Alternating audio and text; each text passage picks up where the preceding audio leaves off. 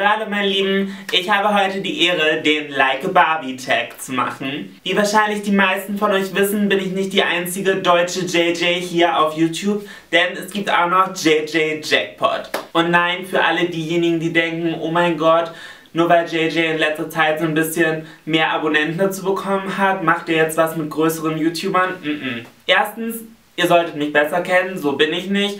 Zweitens, JJ und ich kennen uns schon relativ lange. JJ war nämlich mal Kundin bei mir, bei MAC, und ich habe sie geschminkt und seitdem sind wir so. Ich persönlich finde sie mega cool, ich feiere sie total hart, weil sie halt einfach total ihr Ding durchzieht. Ähnlich wie ich, ihr ist egal, was andere Leute über sie sagen, sie ist halt einfach sie, JJ. Voll geil. JJ Jackpot hat sich überlegt, dass sie einen eigenen Tag erstellt und hat vier YouTuber getaggt. Einer davon yours truly, Queen JJ.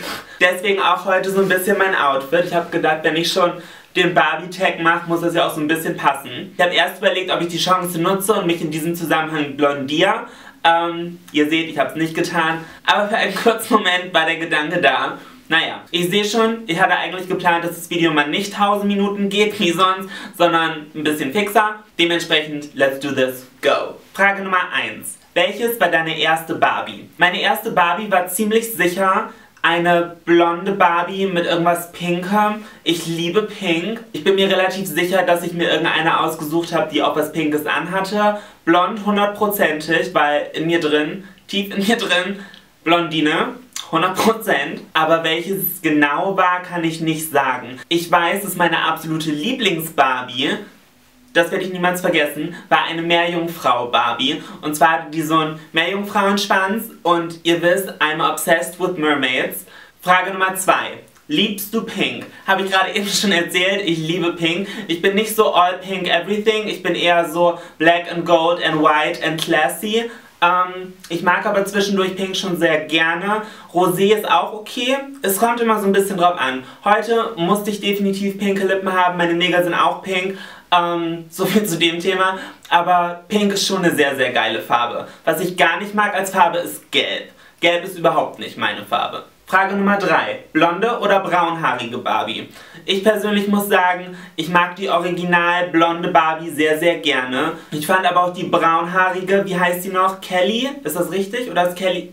Nee, ist richtig. Kelly ist die braunhaarige und Shelly ist das Baby.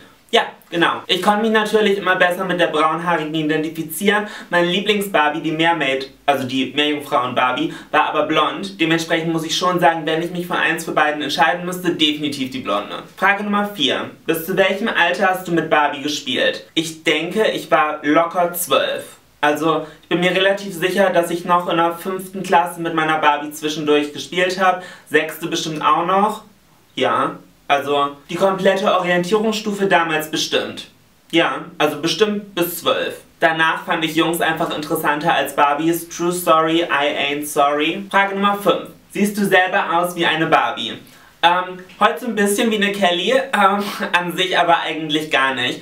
Ich bin eher so ein bisschen die Drag Queen Barbie. Außerdem ist Barbie ja, glaube ich, eine Size minus 1 und ich bin definitiv keine Size minus 1. Ich trage meistens L oder XL, dementsprechend. Ich bin eher die Plus-Size Barbie. By the way, finde ich super cool, dass Mattel jetzt sich dazu entschieden hat, auch mal Barbies rauszubringen, die nicht ganz so magersüchtig aussehen. Es kommen ja demnächst, ich weiß nicht, ob es alle schon von euch gehört haben, auch die normalgewichtigen Barbies, sage ich mal, raus. Denn die Standard-Original-Barbie ist ja eigentlich so dünn, dass sie herausgefunden haben, dass die gar nicht überleben könnte. Und sowas wird Kindern als Vorbild gegeben. Whatever, man hat ja gesehen, was aus mir geworden ist und Barbie war definitiv mein Vorbild. Frage Nummer 6. Mit wie vielen Jahren hattest du deine erste Barbie?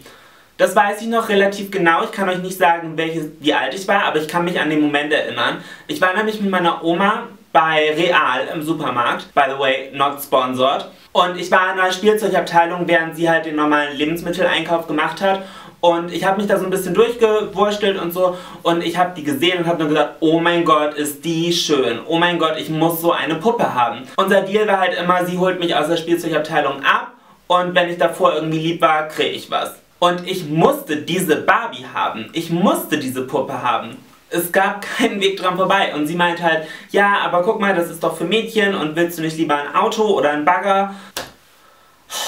Ich war ein sehr angenehmes Kind. Ich habe mich dann auf den Boden geschmissen und angefangen zu heulen. Und inkonsequent wie meine Oma war, also ganz ehrlich, wenn mein Kind das machen würde, ich würde es liegen lassen und schreien. So, by the way, viel Spaß, allein nach Hause zu kommen. Sie war nicht so konsequent und hat es halt gekauft. Und dann hatte ich meine erste Barbie. Ich war bestimmt vier, fünf na, ja, 4, 5 um den Dreh. Frage Nummer 7. Schminkst du dich eher like a Barbie oder magst du es eher natürlich? Ich schminke mich gern like a Barbie. Also Barbie hat doch, glaube ich, blauen Lidschatten drauf und pinke Lippen. Pinke Lippen habe ich heute auch als Tribut an sie.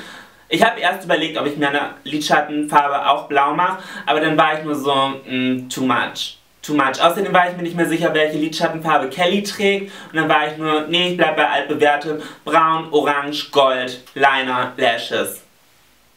Mein Deal. Frage Nummer 8.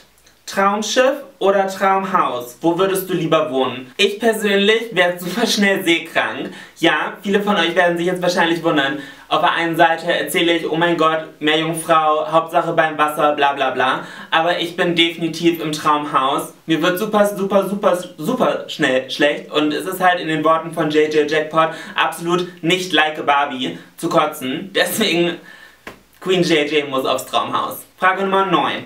Würdest du dein ganzes Haus pink machen? Mm, bei der Frage muss ich leider passen und euch eine Antwort geben, die auch voll not like a Barbie ist. Komplett pink wäre mir persönlich too much. Also ich persönlich finde es halt eher schön, so ein bisschen weiß, ein bisschen dezent, ein paar Accessoires halt in Gold und so oder auch in Pink oder was auch immer. Aber die Hauptgrundfarbe Pink ist mir persönlich zu viel. Frage Nummer 10. Hast du irgendetwas Bestimmtes von Barbie, was du jeden Tag trägst? Ich denke mal, dass sich die Frage in erster Linie irgendwie so auf Accessoires oder so bezieht. JJ hat ihr Barbie-Tattoo gezeigt. Sowas habe ich alles nicht, aber ich habe trotzdem etwas von Barbie jeden Tag dabei. Und zwar ist es mein Selbstbewusstsein. Barbie hat mir beigebracht, Mut zu haben und selbstbewusst zu sein und zu mir selber zu stehen. Barbie ist eine selbstbewusste, starke Frau. Und das habe ich mir definitiv von Barbie abgeguckt. Und mein Selbstbewusstsein habe ich definitiv jeden Tag dabei. So meine Lieben, das war es auch schon mit meinem Like a Barbie Tag. Ich hoffe sehr, dass euch dieser Tag und dieses Video von mir gefallen hat. Ich persönlich habe mir jetzt überlegt, dass ich nicht gezielt Leute rauspick, die ich jetzt sozusagen tagge, sondern es ist jeder willkommen, der dieses Video sieht und Bock drauf hat, es auch zu filmen. Ich habe alle meine YouTube-Freunde gleich gern, deswegen fische ich jetzt niemanden gezielt raus. Spannend ist es von jedem die Antworten auf diese Fragen zu hören. Dementsprechend, ihr seid jetzt getaggt. So, und ich denke, das ist alles, was ich für heute zu sagen habe. Ich hoffe sehr, dass euch dieses Video gefallen hat. Falls es der Fall sein sollte, würde ich mich sehr freuen, wenn ihr mir einen Daumen hoch da lasst und einen lieben kleinen Kommentar unten in der Kommentarbox schreibt. Wenn ihr diese zwei Sachen abgehakt habt, bleibt nur noch eins, es wäre ein Abo, dann haben wir das Triple im Sack. Meine Lieben, ich würde sagen, bis wir uns das nächste Mal sehen. Habt einen schönen Tag!